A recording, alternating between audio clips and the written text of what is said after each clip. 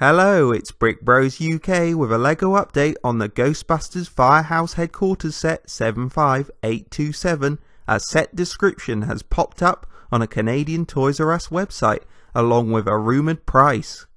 It's releasing early in 2016 and is rumoured to cost £269.99p in the UK or $399.99 in the US, which is around the Shield Helicarrier set 76042 price, which is expensive. But the set should include 9 minifigures, including Peter Venkman, Raymond Stantz, Egon Spengler, Winston Zeddemore, Janine Melnitz, Dana Barrett, Louis Tully, and Zombie Driver and Library Ghost. You can also slide the heroes down the fire pole, chase ghosts, and secure them in the containment unit.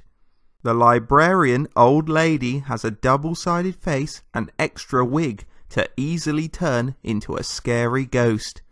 There's extra transparent arms to suspend ghosts around the building and the building measures 14 inches or 36 centimeters high, 9 inches or 25 centimeters wide and 14 inches or 38 centimeters deep and the Ecto 1 won't be included in this set.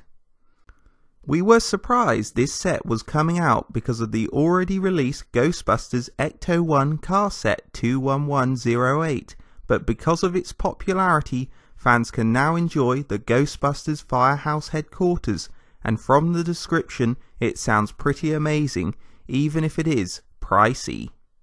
Hope you enjoyed a Brick Bros UK LEGO update. Remember to like, comment, and subscribe to Brick Bros UK.